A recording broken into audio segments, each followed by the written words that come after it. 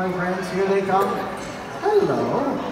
So here we have number 21 and number 20. Hello, my friends. So, my friend, what have you made? A flying dinosaur. A flying dinosaur? What? Are these the dinosaur's wings? Yes. Ooh, it looks really cool, my friend. Will you hold up your flying dinosaur for everyone to see? Let's give a big round of applause. Nicely done.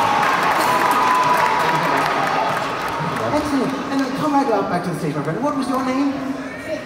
Sydney. Hello, it's good to see you again. And what did you make, Sydney? Flying tomato. A flying tomato. What? Do you like tomatoes? Yeah. Is, is a flying tomato so that it'll fly and hit somebody if they're telling a bad joke? Or is it to fly into your kitchen so you can use it to eat it? Yeah. Both. Nice. Amazing. My friend, will you hold up your awesome flying tomato? And let's give a big round of applause. Nicely done.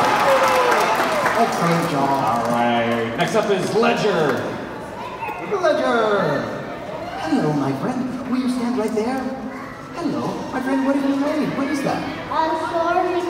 A sword? What?